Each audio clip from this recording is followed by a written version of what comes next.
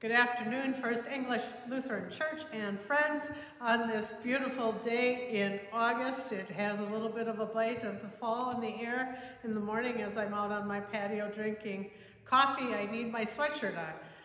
But today I've been thinking about um, prayer. I've been thinking about prayer a lot these days, but today, for some reason, I've been centering in on that. And it reminds me of the the words to a favorite hymn of mine. And so let me read that for us as our thoughts today. Eternal Spirit of the living Christ, I know not how to ask or what to say. I only know my need as deep as life, and only you can teach me how to pray. Come pray in me the prayer I need this day. Help me to see your purpose and your will where I have failed, what I have done amiss, held in forgiving love, let me be still.